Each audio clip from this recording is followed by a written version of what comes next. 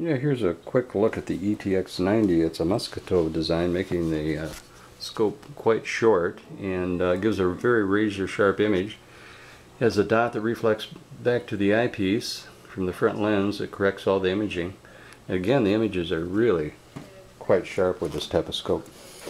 And uh, it even has a little compass they give you.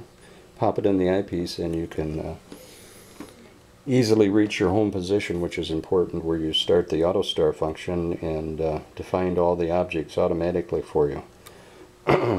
it does have a nice finder. It gives a little red dot when you uh, turn it on.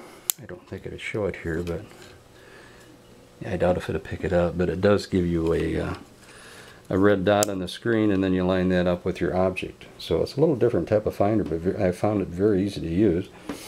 And uh, again it's just about the smallest size scope that will still give you a lot of fun images looking at the heavens. You can see the Jupiter Jupiter's moons. See several bands on Jupiter.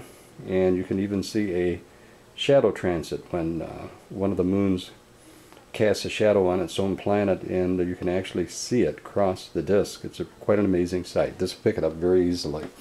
So it, the imaging for a small scope is very impressive